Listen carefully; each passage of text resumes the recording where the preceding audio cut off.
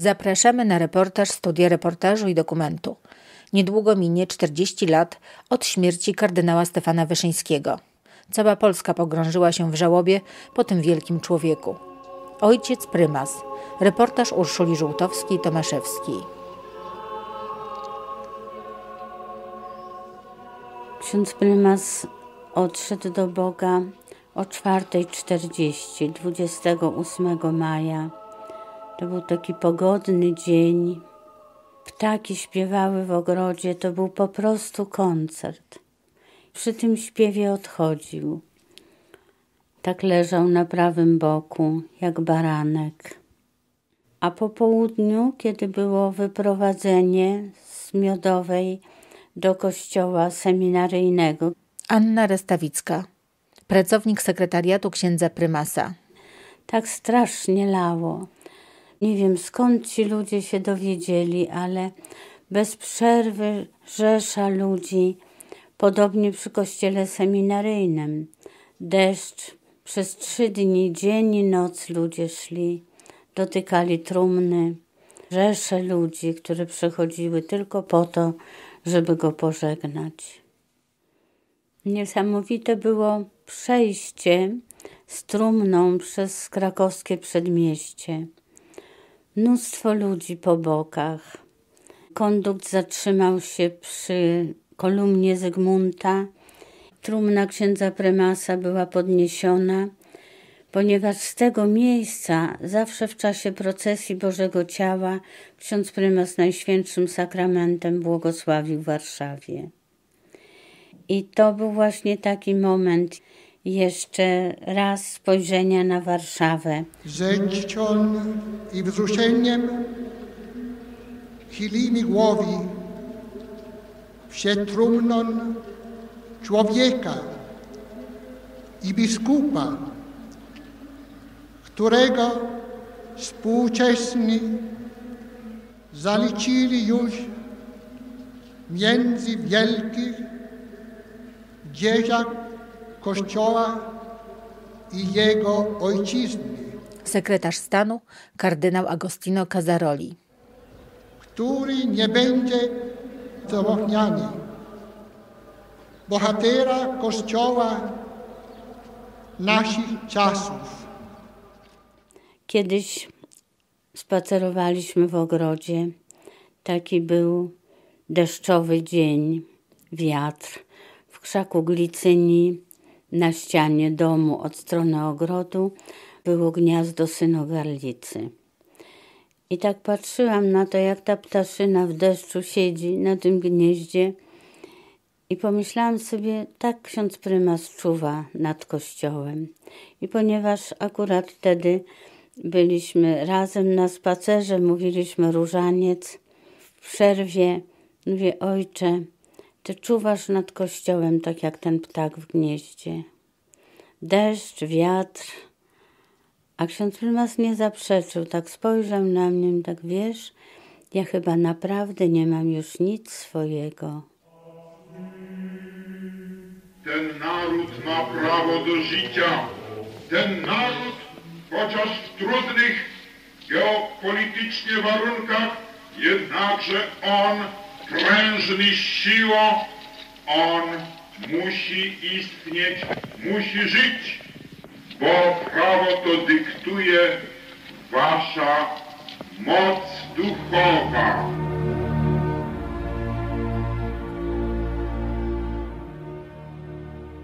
Kiedy się wchodziło do kaplicy przed mszą świętą, najczęściej już ksiądz prymas Wyszyński był w swoim klęczniku i odmawiał brewiarz. Zawsze przed mszą świętą się modlił. Mówił, że dla niego wielkim trudem jest odprawianie mszy świętej. Nie z powodu braku sił, ale ten trud utrzymania uwagi na tym misterium, które się dokonuje.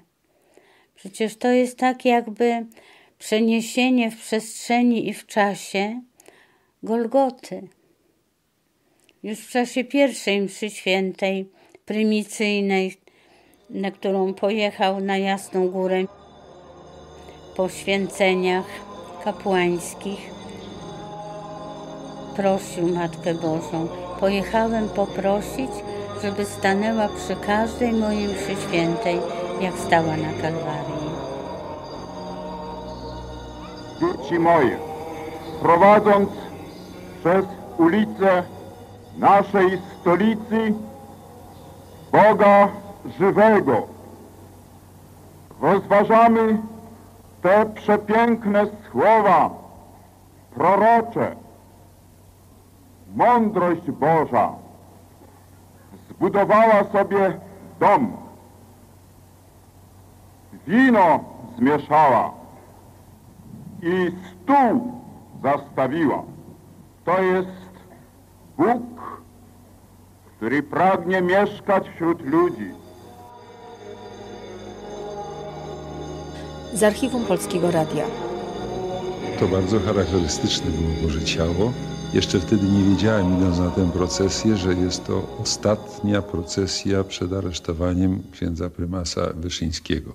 Ksiądz Jan Sikorski, późniejszy kapelan Jego Świątobliwości. Dla mnie na marginesie tych wielkich spraw było to ważne Boże Ciało, bo po raz pierwszy byłem ubrany wtedy w sutannę i w dodatku jeszcze polecono mi nieść przed kardynałem prymasem pastorał.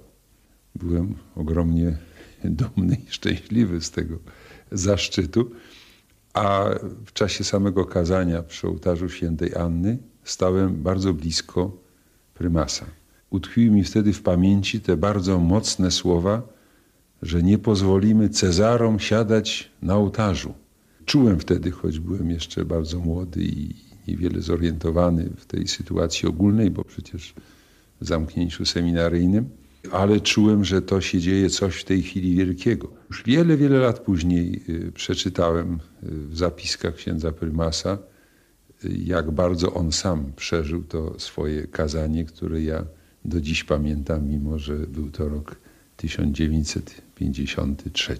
Na tej ziemi muszą być ludzie, którzy będą szli i błogosławili wasze głowy, wasze serca, umysły, dusze i ciała. Nie mocą ludzką, ale mocą wziętą z nieba, mocą Bożą. Ja księdza prymasa Wyszyńskiego poznałam jako dziecko w czasie sakramentu bierzmowania. Wtedy sakrament bierzmowania był wcześnie, bo zaraz po pierwszej komunii świętej. I w mojej parafii na kamionku Matki Bożej Zwycięskiej w parafii Bożego Ciała ksiądz prymas Wyszyński bierzmował nas 14 września 1952 roku. Rok później był aresztowany. 26 września 1953 roku, późnym wieczorem, grupa uzbrojonych ubowców wtargnęła do siedziby arcybiskupa Warszawy na ulicy Miodowej i dokonała aresztowania głowy Kościoła Polskiego. Radio Wolna Europa. Do Polaków przemówił ksiądz kapelan Tadeusz Kierszka. Gdyby uwięziony prymas mógł przemówić do swojej osieroconej Rzeszy, na pewno przypomniałby słowa świętego Pawła, słowa napisane w więzieniu.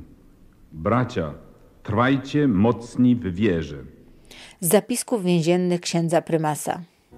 Zamknięto mi usta na kłody milczenia, związano mi ręce i nogi festonami drutów. Ale nic to, matko, masz oczy i dostrzeżesz wszystką niedolę dziecka twego. Właściwie on był wolny w więzieniu, wewnętrznie wolny. Był przetrzymywany bez żadnego sądu, bez żadnego oskarżenia, bez możliwości nawet odwiedzin najbliższych, ale jednocześnie on nie przestał być sobą. I to zawsze podziwiałam w księdzu prymasie. Mówił o miłości do nieprzyjaciół. I podeszłam po konferencji do księdza prymasa i zapytałam, ojcze, bo tak do niego mówiliśmy, tego Gomułkę to ty też kochasz? Gomułka to był pierwszy sekretarz partii, który wyszedł z więzienia razem z księdzem prymasem. Jego relacja w stosunku do księdza prymasa była nie tylko niechęci, ale czasami wręcz takiej nienawiści. Prawa w tym tkwi, że Kościół, episkopat, szczególnie kardynał Wyszyński, przeciwstawia chrzest Polsce Ludowej.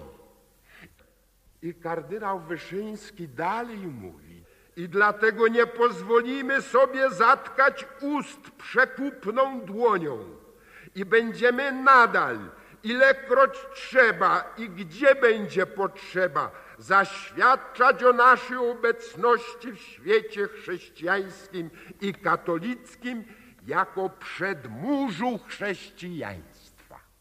No trzeba by sobie postawić pytanie, a co jest za tym murem? Za murem Związek Radziecki. Oti macie politykę, macie stanowisko polityczne, macie linię polityczną, którą nam chcą narzucić. Zapytałam księdza prymasa, czy kocha też tego pana Gomułkę. A ksiądz prymas tak spojrzał na mnie i mówi, Aniu, przecież Bóg go kocha. To co ja mam do powiedzenia? To była następna lekcja bardzo poważna tych wszystkich naszych wrogów, mniejszych, większych, rodzinnych, politycznych. Bóg ich kocha. Ksiądz prymas był nazywany ojcem. Ojcze prymasie, ojcze biskupie. Nie księże? Nie. I on się czuł ojcem nie tylko wierzących, ale też niewierzących.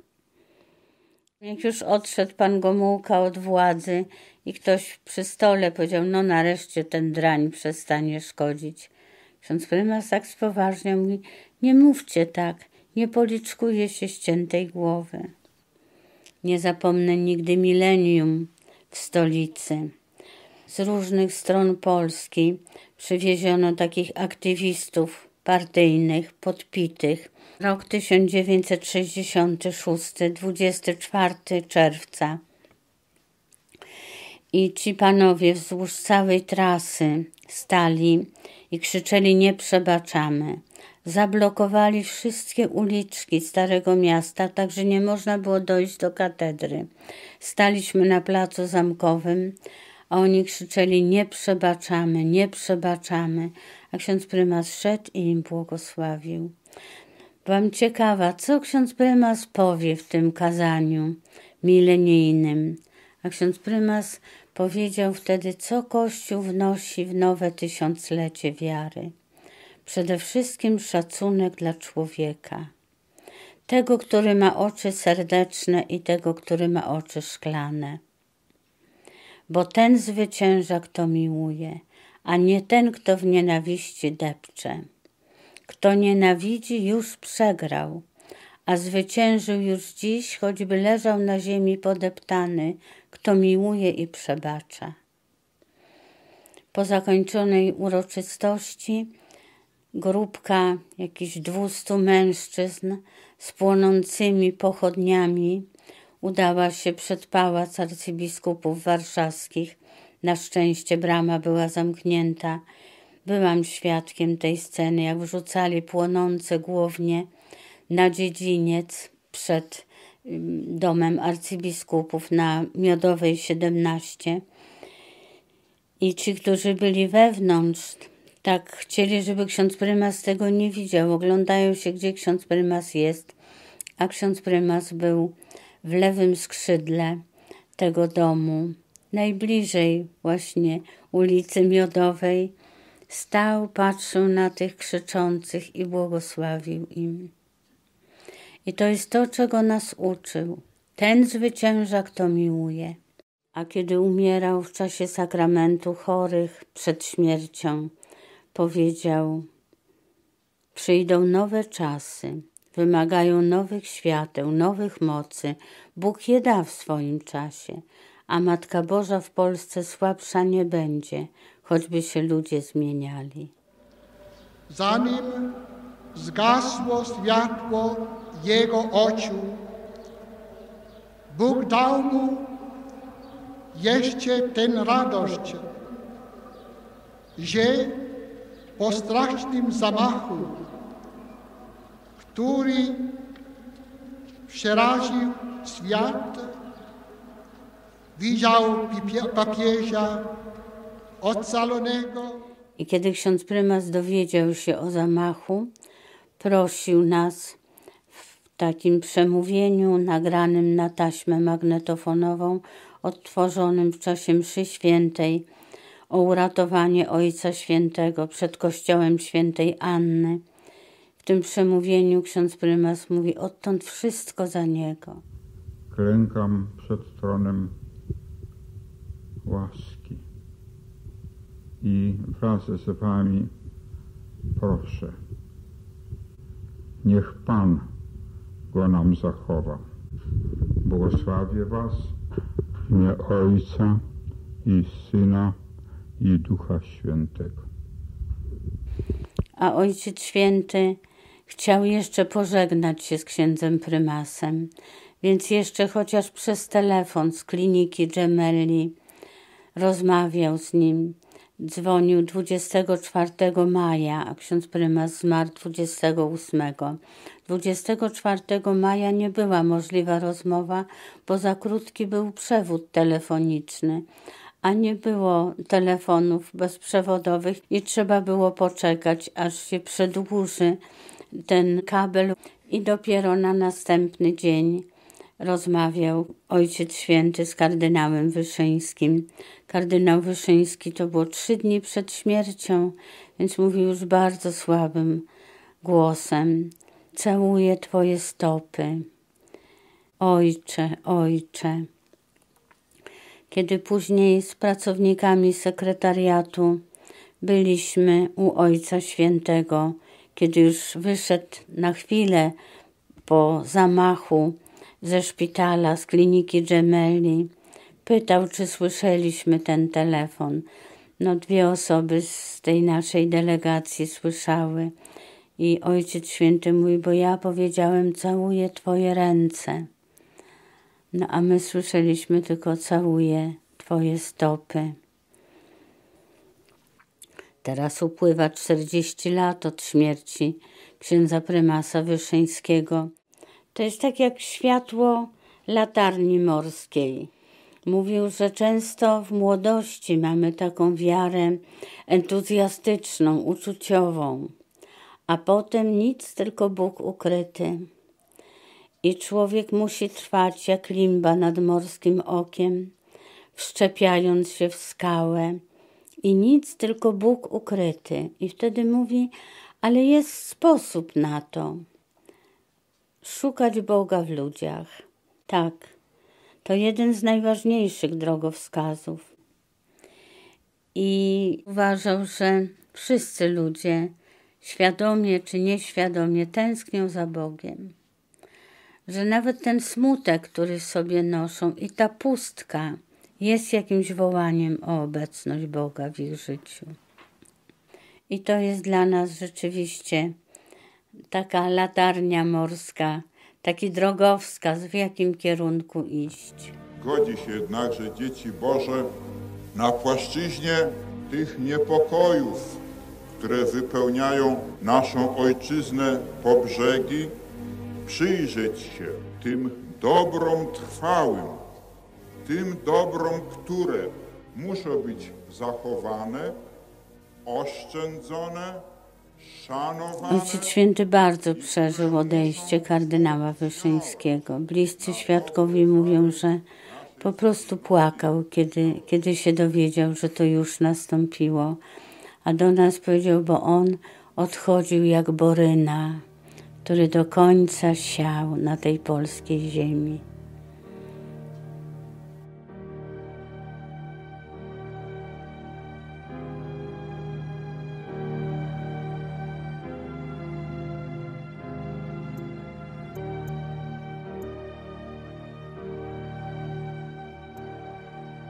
Był to reportaż Urszuli Żółtowskiej-Tomaszewskiej pod tytułem Ojciec Prymas. 12 września w Warszawie odbędzie się beatyfikacja Stefana Wyszyńskiego i matki Róży Czackiej.